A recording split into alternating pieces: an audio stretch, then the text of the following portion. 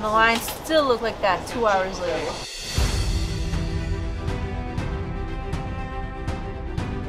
Here's the kasama. Are you a customer? You see a big line outside?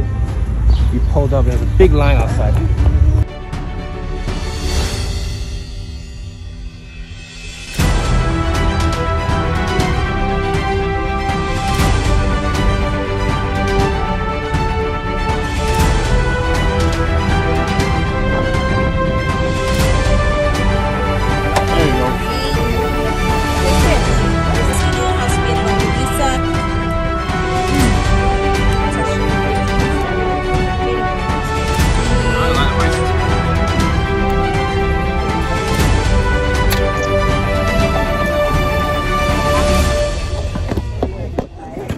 One of the best sandwiches I've ever had.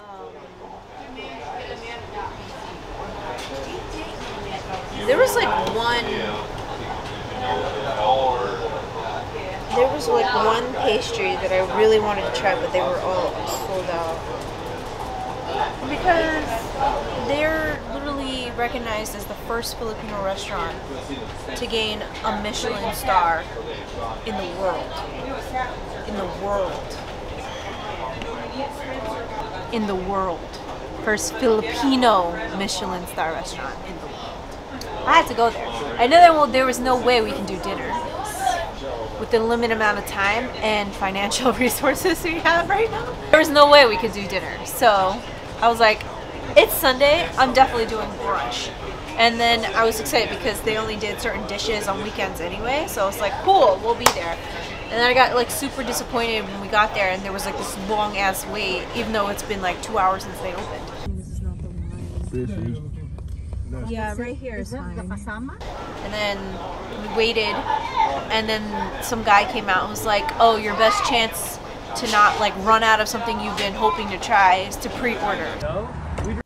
So I went on my phone, pre-ordered, and of course I found out everything I wanted was sold out. I found out that they blocked certain items to just make sure the people who are waiting in line also have a chance to pick out items that they wanted. So they blocked like pickup only orders for their main popular items like their ube huckleberry basque cheesecake. I ended up getting everything I wanted except maybe the mango tart that they were featuring just for this week. That's also me. I like that. We've got our combo breakfast. That's for you. That's you again. and we got our combo sandwich. Yeah. Is that mine? That's mine. There you go. Thank you. Thank you.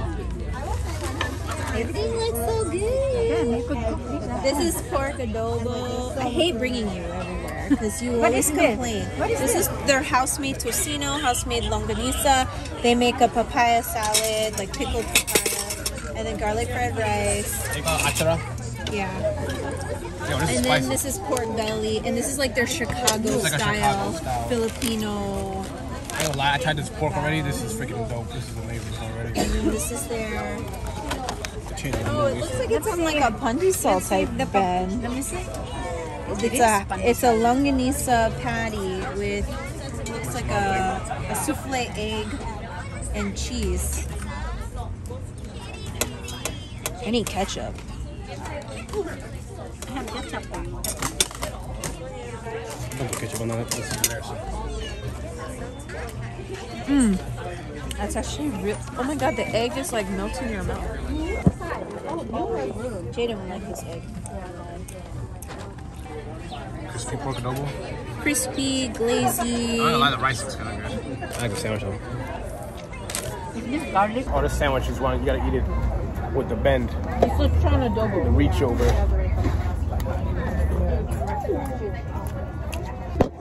That is like one of the best sandwiches I've ever had. Truffle croissant. He's eating the truffle croissant. It's crushing. Next we're gonna try the foie one. Try foie, Jaden. No, food was great.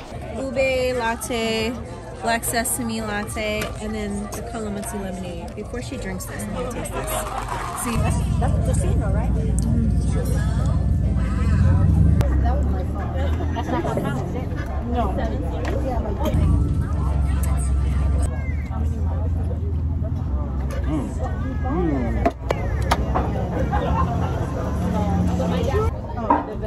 Egg sandwich?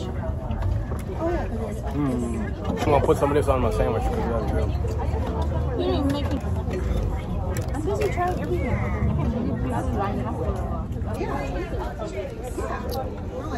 You gotta eat it like a Chicago style. Remember an Al sandwich? You gotta like do the 90 degrees in.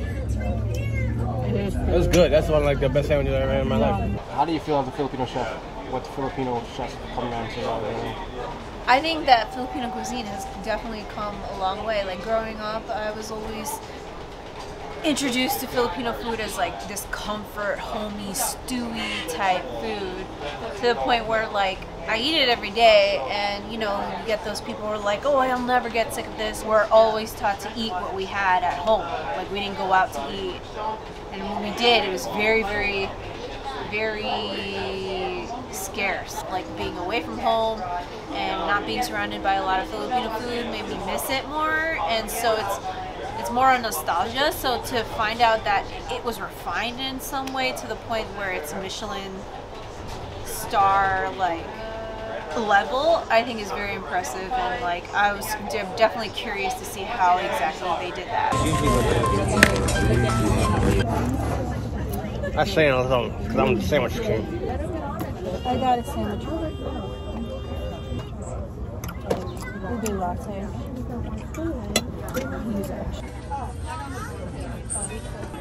This may not look like it, but this is probably one of the best sandwiches I ever had in my freaking life. They dip it in like an adobo jus. That's solid. Oh my, oh my god, just keep throwing it now. You want chips, baby? Here.